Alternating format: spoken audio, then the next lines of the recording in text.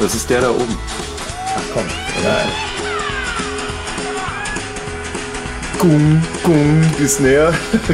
Keine Gießkanne.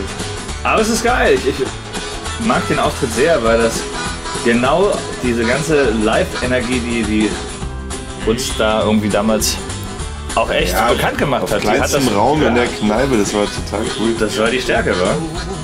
Das hat's ausgemacht.